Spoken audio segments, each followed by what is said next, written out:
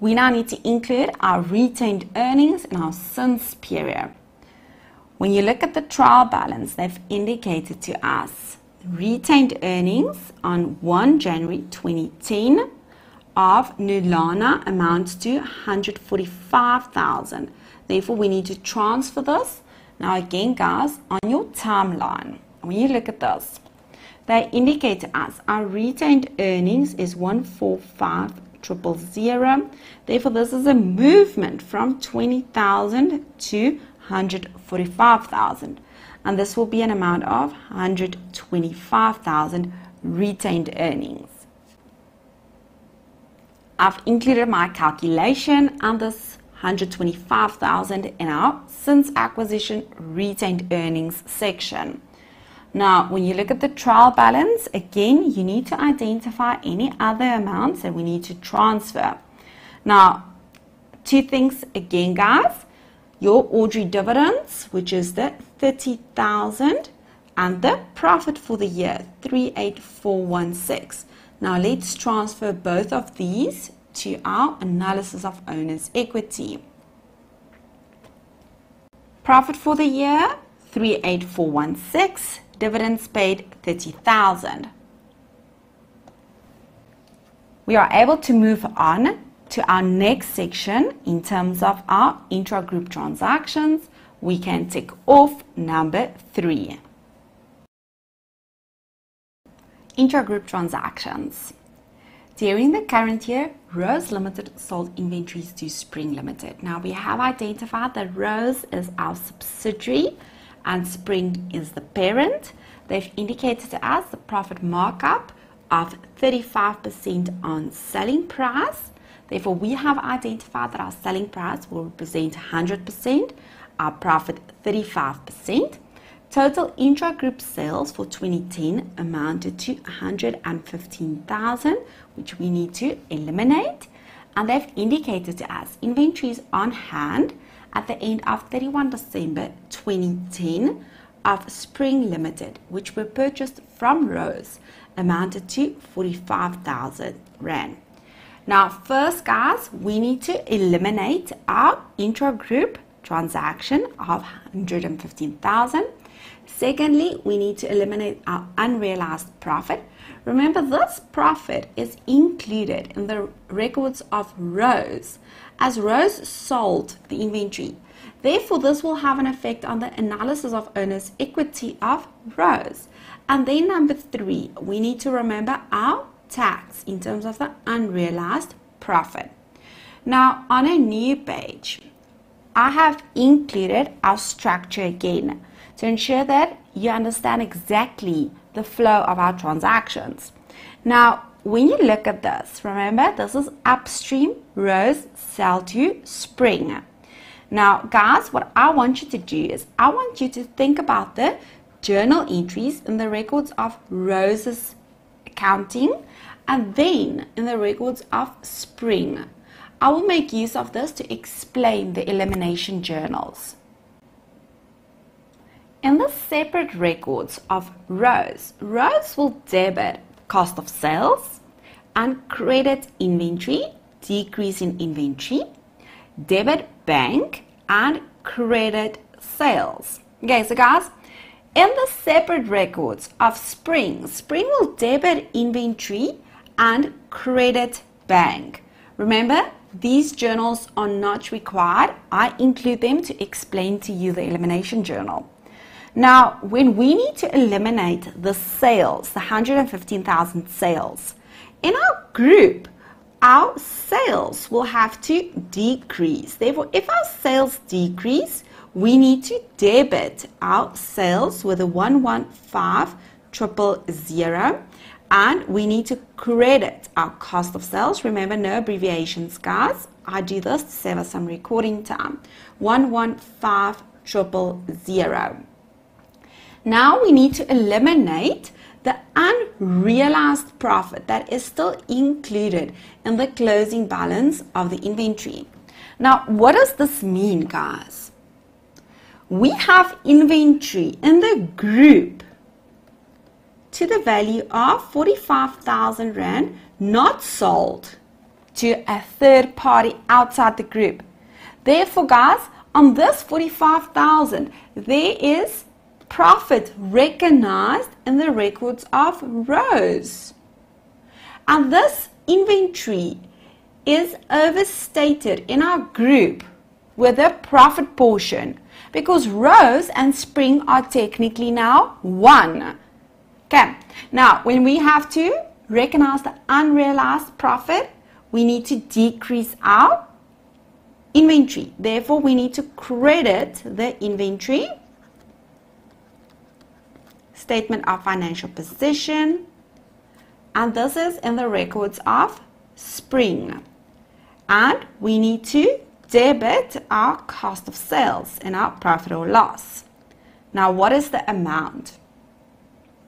It's the 45,000 and then they've indicated to us in the given scenario profit markup of 35% on selling price therefore selling price represents 100% and our profit 35% if selling price represents 100% I'm sure you will agree with me that this 45,000 represents the 100%. Therefore, this will be 35 over 100. And this will be a value of 15750. We need to remember our tax journal. Now, when we debit our cost of sales, if our cost of sales increase, this is an expense, this will result in a decrease in a decrease in our profit. If there's a decrease in our profit, this will result in a decrease in our tax. If our tax decrease, we will have to credit our income tax.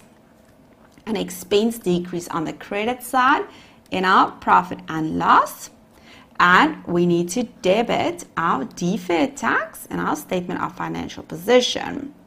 And this will be the 15750 times 28%.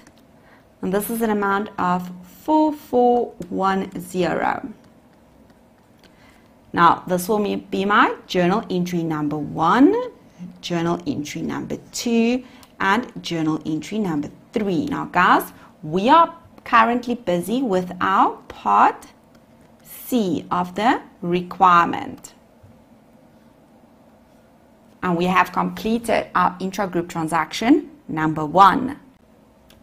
Right, let's move on to our next intra-group transaction. We have Nulana that purchased all its inventories from Spring. Therefore, guys, Spring is the investor that sells to Nulana we have identified from the trial balance that the closing balance is 47,000 that is still included in Nulana's records. Therefore, we need to eliminate the unrealized profit. Remember the tax and very important, only the percentage owned. They've indicated to us it's 25% markup on cost price. Therefore, cost represents 100%, our profit 25% and our selling price 125%. Again, you will identify that I've included my structure for you to be able to identify that this is a downstream transaction. Okay, so guys, when you look at this, I want you to first always think about the journal entry in the separate records of the seller and in the separate records of the buyer. Now, when you look at Spring and Spring's records, we will debit our cost of sales, credit inventory. Our inventory decrease as this inventory is transferred to Nulana. We will debit bank and we will credit our sales. In the records of Nulana, Nulana will debit increase inventory and credit bank. Now, very important, we have to remember that we only eliminate 40% of the unrealized profit. Yeah, so guys, when you look at this, Spring sells to Nulana, then you need to know, immediately identify that this will have an effect on your investment and associate line item in the records of Spring. Now, if we need to eliminate this transaction, in Spring's records, there's profit included that does not exist because Spring sold this to Nulana. Therefore, we need to take out that profit. If we need to take out the profit, we will have to debit our sales, decrease sales and our profit and loss. And we need to credit our cost of sales in our profit and loss. Important, this will be the 47,000 times 40% and to calculate your cost of sales they've indicated to us guys remember when you look at the left side of your screen our cost represents 100% selling price 125% therefore you will have to times this by 100 over 125